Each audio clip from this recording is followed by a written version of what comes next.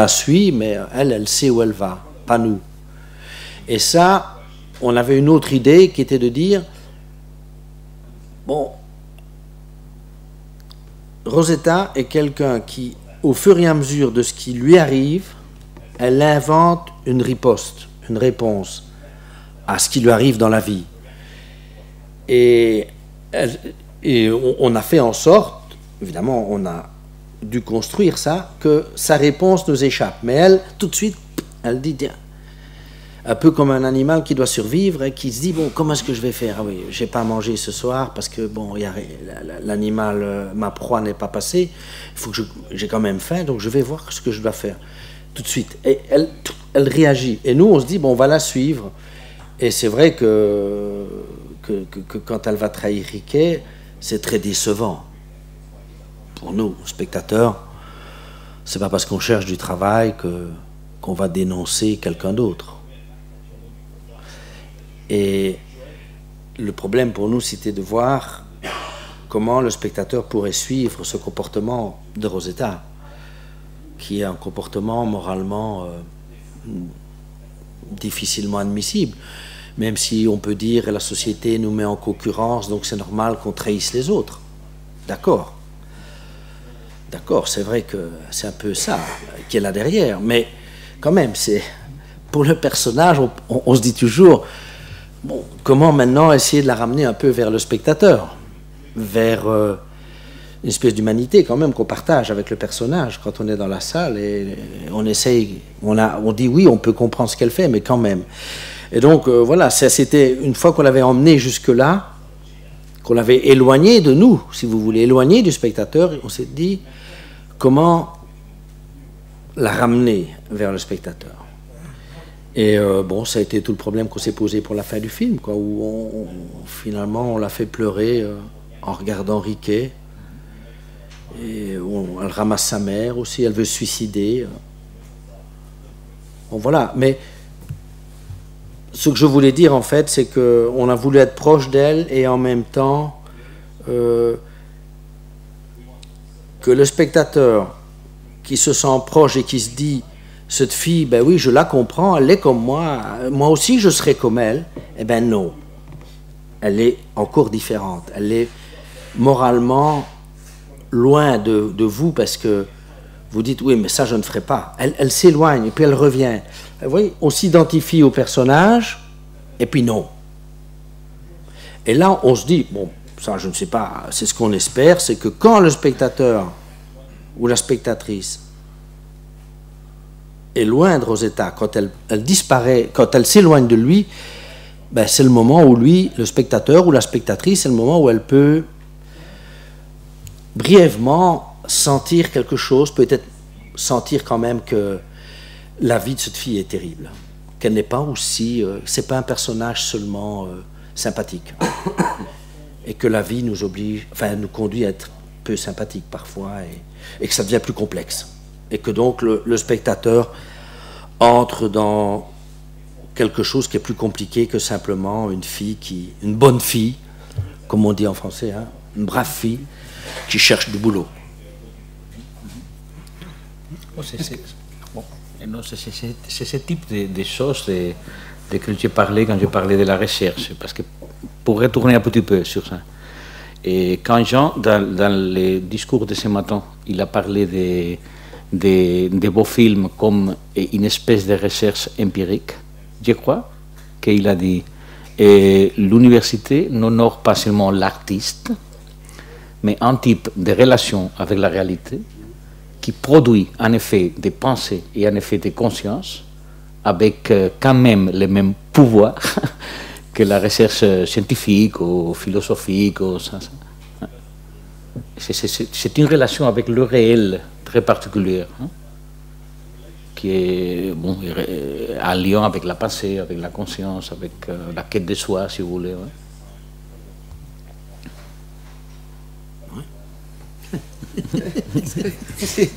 Mais il dit les réponses. Oui, oui. Peut-être. Moi, je suis un peu curieux. Euh, je m'excuse, mais je suis un peu curieux comment vous le faites je, sais bien, c'est difficile à expliquer comment on fait quelque chose, c'est toujours difficile vraiment.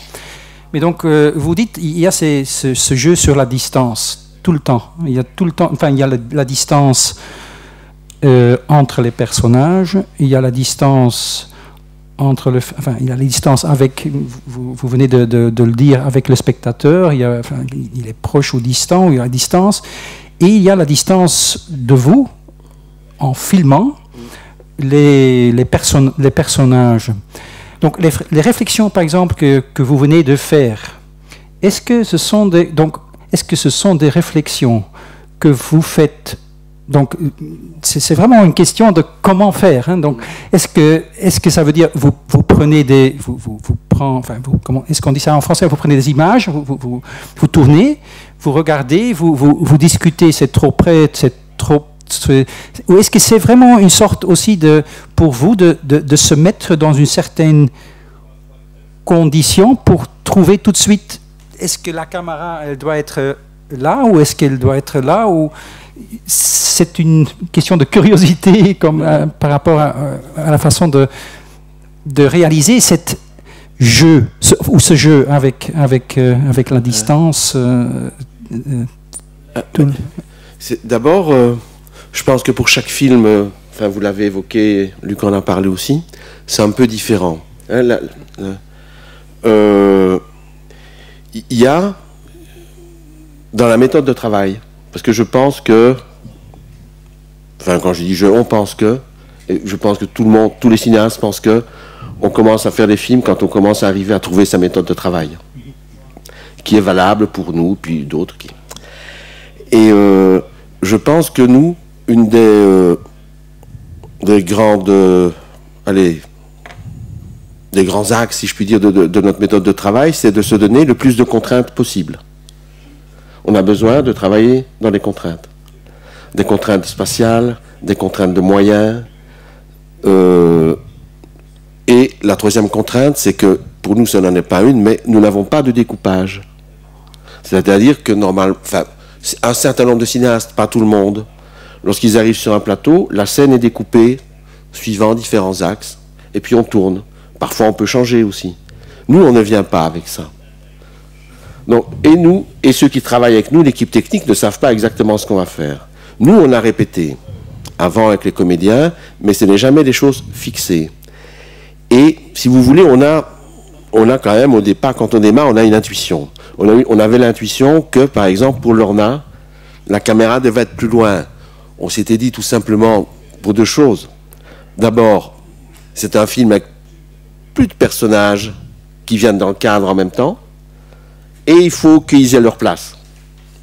Et la deuxième chose, ce que a dit déjà, mais bon, je vais répéter, c'est que ce secret de Lorna, ce silence de Lorna, il a besoin d'un peu d'espace pour raisonner. Si on l'enferme, il n'y aura plus de secret, il n'y aura plus de silence. On va être seulement enfermé avec elle et, le spectateur ne va pas avoir de place pour entendre, si je puis dire, résonner ce silence qui, qui sont tous ces secrets. À partir du moment où on part avec ces intuitions-là, et, ça, et le fait d'avoir le moins de médiation technique possible, le moins possible, entre nous et les acteurs. Donc, il n'y a jamais, chez nous, il n'y a jamais de machinerie. Jusque maintenant, peut-être le prochain film on changera, je ne sais pas. Mais jusque maintenant, la machinerie, c'est des petits cubes, mais il n'y a pas d'instrument, euh, d'instrument mécanique entre le corps de la caméra, le, comédien, euh, le, cadreur et les, acteurs. Et je pense que tous ces éléments-là, et l'espace aussi, je reviens dessus, l'espace c'est important pour nous parce que euh, parfois pour plaisanter, les gens qui travaillent avec nous nous disent, mais les amis, pour finir, on va travailler dans un petit endroit où personne ne pourra entrer, et là vous serez vraiment content. On aime bien d'avoir cette contrainte de l'espace parce qu'il y a des choses qu'on ne peut pas faire. Il y a des choses, il y a, un certain nombre de plans que l'espace ne nous permet pas de faire. Donc, on a une série de contraintes et c'est à partir de là qu'on commence à travailler avec les comédiens, d'abord avec les comédiens, puis les comédiens et, le cadreur. Mais euh, les répétitions se font déjà dans, dans ces espaces-là. Et si vous voulez, à un moment donné, euh, bon, mon frère et moi, on, on se dit, bon, là, là ce qu'on vient de, faire, euh, euh, bah, c'est ce qu'on a, fait de mieux pour donner le sentiment, le, pour raconter ce qu'on veut raconter dans, dans, cette scène. Et il y a aussi le fait que peut-être, le fait qu'on soit deux, euh, je sais pas, bon, il se passe quand même quelque chose qui se passe peut-être pas quand on est tout seul, j'en sais rien, j'ai jamais travaillé tout seul, mais euh, tout le monde a toujours l'impression d'être pris en sandwich avec nous. C'est qu'il y en a, euh, c'est un peu comme au tennis, quoi. Quand il y en a en première ligne, il y a toujours l'autre qui est derrière. Et ça fait deux regards différents. Enfin, c'est deux différents, mais en même temps qui sont les mêmes sur ce qu'on fait.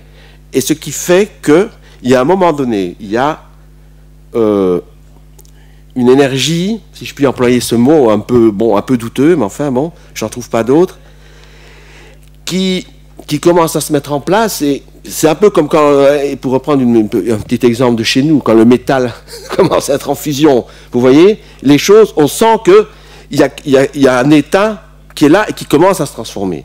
Et là, on se dit, ça, c'est sans doute bien.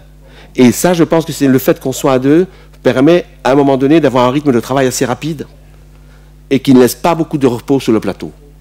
Et nous, on a besoin de ça. À un moment donné, les choses avancent et puis on dit, on y va. Bon, je sais pas, c'est peut-être un peu, euh, un peu loufoque comme explication, je sais pas. Non, non, non, c'est très intéressant, je crois, euh, cette idée de contrainte. Donc, de, que, pour avoir une certaine attention, il faut avoir aussi cette idée de contrainte. Que le confort, ou pour le dire autrement, que le mm. confort euh, ne permet pas cette, euh, cette attention ou, ou, rend très difficile peut-être euh, cette, cette, attention. Et alors encore un petit, puis je vais céder la parole à mon frère, une petite chose, bon pour ceux qui, qui sont peut-être un peu plus liés au, à la pratique du cinéma, c'est qu'excepté la promesse, Lorna, le fils, l'enfant, Rosetta, ont tous été tournés avec la même focale. C'est le 50 mm, c'est plus ou moins l'œil humain. Un peu plus serré que l'œil humain. Et c'est une contrainte qu'on s'était donnée aussi. Pas pour la promesse, mais pour ces films-là, je ne dirais pas que c'est un, pas un dogme, hein, il nous a semblé que c'était, cet objectif correspondait à la manière la plus proche de ce qu'on voulait nous montrer. C'est proche de, l'œil humain, mais en même temps, euh, ça réduit à tout, tout petit peu l'espace, tout petit peu.